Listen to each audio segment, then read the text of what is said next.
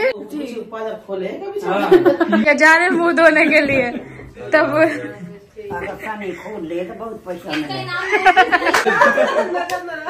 बताओ किसने किया है? रेहानी सनी ने? सनी ने। अच्छा किया कितना मैंने बिगाड़ा था इस बार सनी भाई ने बिगाड़ दिया। तब ये लोग इतनी फॉर्मेलिटी में सोच रहे हैं कि सनी को बुरा नहीं लगी। धुंधी नज़र आ रही है मुझे। तो कोई लिफ्ट में नीचे मिल जाए लिफ्ट में नहीं। हाँ जल्दी उसका भी लेंगे जा रही है दुल्हन।